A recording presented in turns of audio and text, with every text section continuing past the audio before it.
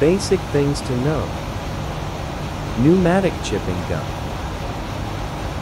Pneumatic chipping gun is basically used to remove rust, paint, or any solid carbons.